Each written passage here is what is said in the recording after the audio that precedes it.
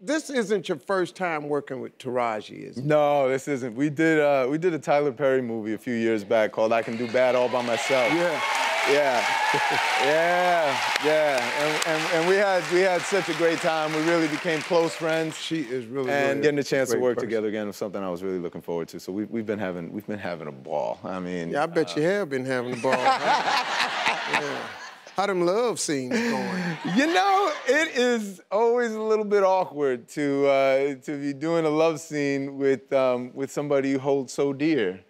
Um, and so I think we've just been having fun playing games with each other. You know, uh, trying to see who can make their breath the, the most difficult to deal with.